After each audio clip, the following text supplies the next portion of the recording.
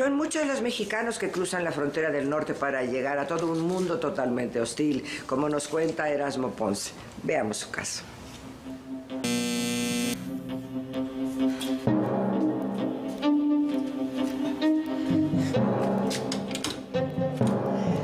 ¿Cómo está mi comadre? Muy mal. ¿Por qué? ¿Qué pasó? El niño nació con el labio partido. Jesús. Ese niño está tocado por el mal. Está maldito. Yo le dije a mi comadre que no saliera de noche. Pero no te hizo caso, mija. Seguro que salió la noche del eclipse. O le pegó la, la luna nueva. Bueno, ¿y cómo está ella? Ya te puedes imaginar. No quiere ni ver al niño. Ay, pobrecita criatura. Le trajimos un poquito de masa para hacerle un atole para la leche. No creo que lo quiera amamantar. Y luego, pues ese niño se va a morir de hambre. Mijito, hazme un favor, pon agüita a hervir. Voy a ver a mi comadre. ¿Me avisas cuando esté hirviendo el agua, eh? Pues yo ya me voy. Oiga, ¿va a dejar sola a mi comadre? Mira, mijita, yo ya cumplí con mi trabajo. Y la mera verdad, no quiero estar cerca de ese niño. Oiga, pero si es una criaturita. Tocada por el diablo. Por eso nació con el hocico de conejo. No diga eso. Mira, yo mejor me voy. Yo ya no quiero estar aquí. Ay, no. Oiga, no deje así a mi comadre. Oiga, espérese. Ay. No te dije que fueras por el agua y la pusieras a servir. ¿Cómo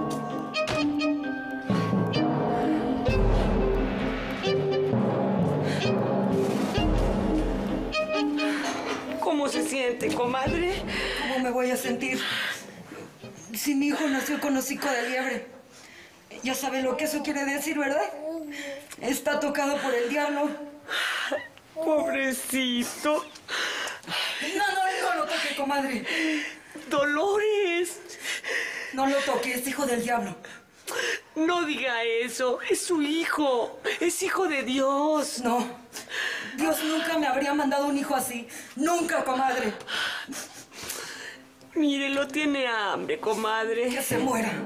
No quiero un hijo así. No quiero el hijo del diablo. No lo quiero, comadre. No lo quiero, no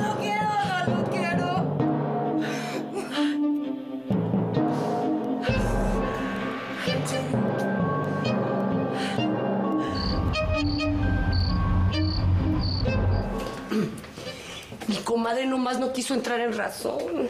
No, ¿y ahora qué va a pasar con ese chamaco? Pues no sé, viejo.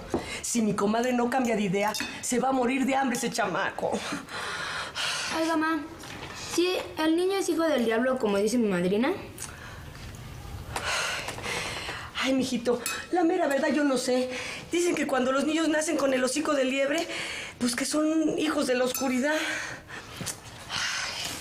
Pero usted siempre me ha dicho que somos hijos de Dios.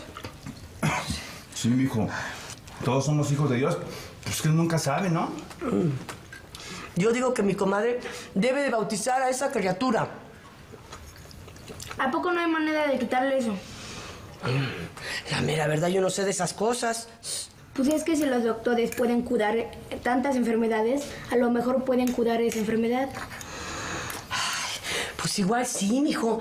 Pero tú te imaginas lo que debe de costar eso? ¿Quién va a tener dinero para pagar una operación así?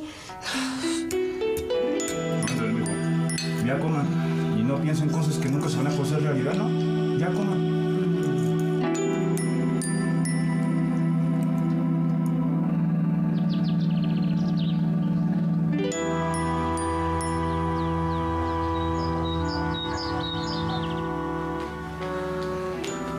Mamá, ¿cómo sigue?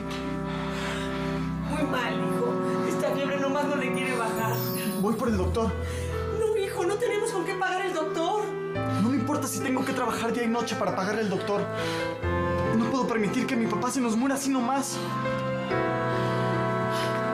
¿A dónde vas? A buscar un doctor.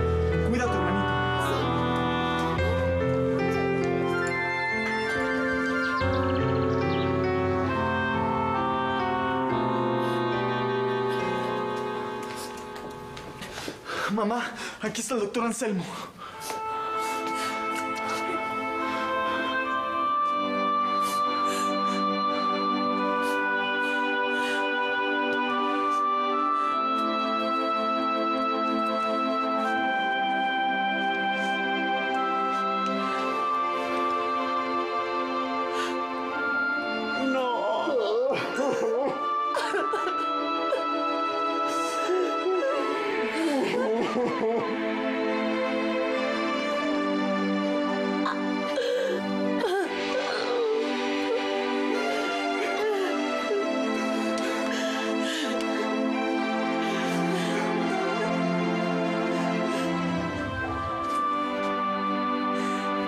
Ay, hijo querido, te lleve, cuídate mucho, por favor. No se preocupe, mamá, voy a estar bien.